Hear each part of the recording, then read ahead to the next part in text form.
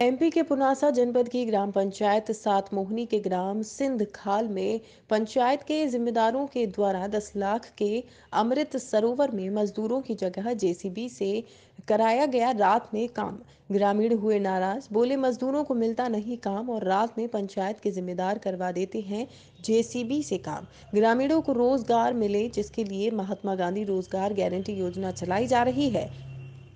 इसी योजना के अंतर्गत पुनासा जनपद के ग्राम पंचायत सात मोहनी के ग्राम सिंध खाल में मनरेगा योजना के अंतर्गत 10 लाख के अमृत सरोवर का काम आया और इस योजना में गाँव के मजदूरों को भी काम देना है। लेकिन पंचायत के जिम्मेदारों के द्वारा रात को अमृत सरोवर के लिए जेसीबी लगाकर काम किया, जिसके चलते ग्रामीणों में आक्रोश फैल गया। ग्रामीण अमृत सरोवर की जगह पर पहुँचे और अपना गुस्सा दिखाया और बोले, गाँव में लोगों को काम मिलता नहीं और पंचायत के जिम्मेदार रात के अंधेरे में जेसीबी से काम कराते हैं। ग्राम सिंधखाल से सातमनी पंचायत।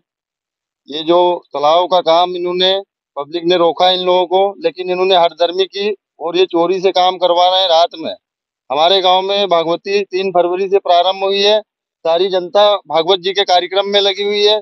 इन लोगों ने दादागिरी और सरपंच का ये बोलना है, बोले, आपसे जो बने वो कर सकते हो, बोले। मजदूर से नहीं करूँगा मजदूर काम नहीं करते बोले।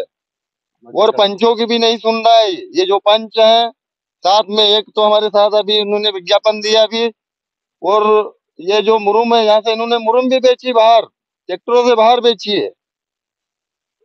ये गरीब जनता को लूट रहे हैं।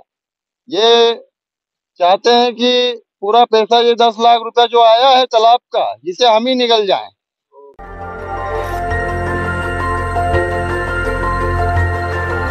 देखते रहिए डीबी भारती समाचार नज़र हर खबर पर।